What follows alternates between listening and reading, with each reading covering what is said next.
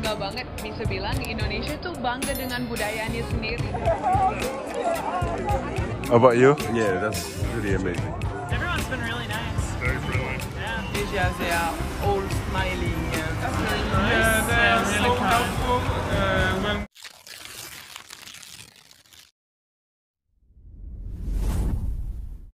Halo sahabat citizen.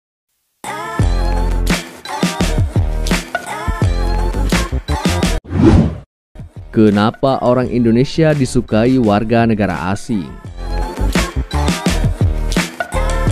Selain dikenal dunia sebagai negara kepulauan beriklim tropis yang kaya raya, Indonesia juga identik dengan penduduknya yang khas. Aneka ragam budaya yang ada di Indonesia membuat orang-orang asing yang datang ke Indonesia dibuat jatuh cinta. Lebih dari itu, hal yang membuat orang asing kagum adalah karakter orang Indonesia itu sendiri. Secara umum, tidak perlu diperdebatkan lagi kalau Indonesia adalah negara yang dikenal dengan penduduk yang ramah. Namun, masih banyak hal lain terkait orang Indonesia yang begitu disukai oleh mancanegara. Sebelumnya, Indonesia kembali dinobatkan sebagai negara paling dermawan di dunia pada tahun 2022. Pencapaian ini merupakan yang kelima kalinya secara berturut-turut dalam lima tahun terakhir. Berdasarkan daftar World Giving Index atau WGI tahun 2022 yang dikeluarkan oleh Badan Amal Charities Aid Foundation atau CAF, Indonesia menempati peringkat tertinggi dengan total skor 68%. Nah, kenapa Indonesia bisa kembali dinobatkan sebagai negara yang paling dermawan di dunia? Rupanya Indonesia memiliki penduduk yang sangat unik-unik. Sampai-sampai warga negara asing suka dengan orang Indonesia. Terus alasannya kenapa? Nah, untuk mengetahui lebih jelas, berikut ini adalah beberapa faktanya. Yang pertama, orang Indonesia spiritual. Orang Indonesia menganggap kepercayaan spiritual yang mereka yakini adalah hal yang sangat serius, terutama pada mereka yang masih hidup secara tradisional. Mereka menjalani kehidupan yang menarik, dipandu oleh keyakinan dan prinsip yang kuat, dan sering diwujudkan dalam upacara dan adat yang meriah, serta bisa diikuti atau diamati oleh wisatawan. Ini menjadi salah satu hal yang sangat disukai orang asing jika melihat orang-orang Indonesia. Karakter yang ramah, suka menolong, spiritualis adalah alasan mereka sangat betah dengan orang-orang Indonesia.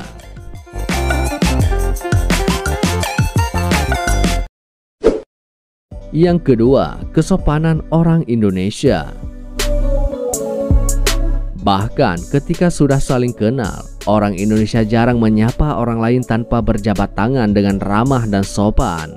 Mereka sering menggunakan sapaan seperti Pak dan Bu, Mas, Mbak untuk merujuk kepada orang lain. Dan itu bukan hanya basa-basi, orang Indonesia memperlakukan orang lain dengan sopan dan hormat. Yang ketiga, orang Indonesia ramah. Keramahan adalah ciri khas yang sangat mudah terlihat pada orang Indonesia. Banyak turis menyebut bahwa keramahan penduduk lokal adalah salah satu hal favorit yang membuat mereka betah di negara ini. Kehangatan orang-orang Indonesia terhadap orang asing semakin terasa di luar daerah perkotaan. Senyum sederhana, sapaan kepada orang asing hingga mengajak turis asing untuk berfoto selfie bersama menjadi karakter yang khas. Kehangatan dan sifat ramah mereka akan membuat turis asing merasa seperti di rumah sendiri. Yang keempat, suka menolong. Masyarakat Indonesia dikenal dengan karakternya yang suka menolong atau membantu. Mereka telah terbiasa menjaga satu sama lain dalam komunitasnya. Kebanyakan orang Indonesia memikirkan kebutuhan orang lain dan berusaha sebisa mungkin dalam membantunya. Jangan heran jika suatu hari Anda menanyakan arah, mereka akhirnya bahkan bisa membawa Anda ke tempat tujuan. Yang kelima, orang Indonesia bangga dengan budaya. Banyak orang Indonesia, bahkan yang kini tinggal di perkotaan, masih mengidentifikasi diri berdasarkan suku dan kampung halaman.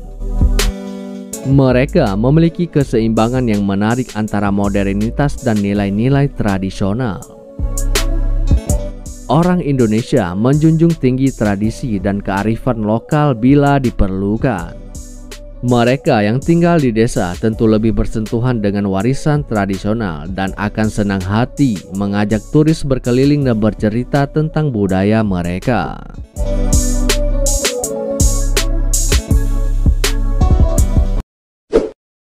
Yang keenam, terbiasa dengan keragaman.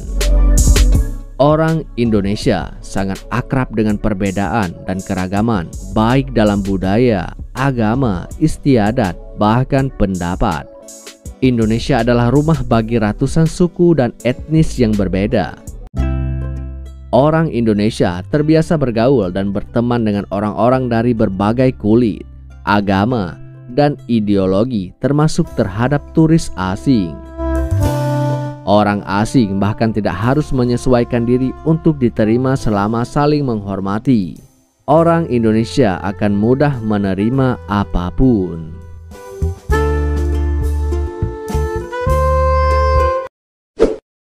Yang ketujuh, orang Indonesia inklusif. Orang Indonesia terbiasa hidup bermasyarakat dan melakukan berbagai hal secara komunal atau kelompok. Meski begitu, kelompok mereka meluas dengan cepat dan mudah menyebar. Jangan ragu untuk bergabung dengan teman-teman Indonesia di meja makan atau di pertandingan sepak bola di pantai. Mereka tahu bagaimana menyambut orang lain dan bahkan menganggap orang asing sebagai salah satu dari mereka.